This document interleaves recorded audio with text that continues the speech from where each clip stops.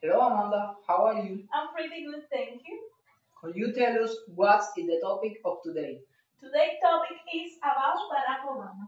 Could you tell us who is Barack Obama? Barack Hussein Obama was born on August 4, 1961. He's an American politician who served as the 44th President of the United States from 2009 to 2017. He's a member of the Democratic Party. He was the President of the United States.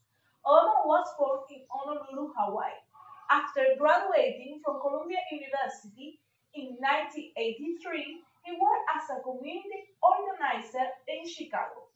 In 1988, he enrolled in Harvard Law School. After graduating, he became a civil rights attorney and an academic teaching constitutional law at the University of Chicago Law School. In 2008, after a close primary campaign against Hillary Clinton, he was nominated by the Democratic Party for president and chose Joe Biden as his vice president.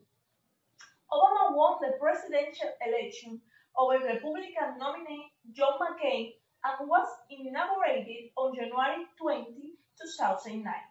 Nine months later, he was named the 2009 Nobel Peace Prize laureate, a decision that drew a mixture of praise and criticism. Obama's first term actions addressed the global financial crisis and included a major stimulus package, a partial extension of George W. Bush tax cuts, legislation to reform health care, and a major financial regulation reform bill and the end of a major U.S. military presence in Iraq. He ordered the counter-terrorism which killed Osama bin Laden. After winning re-elections by defeating Republican Mitt Romney, Obama became president on, on January 20, 2013.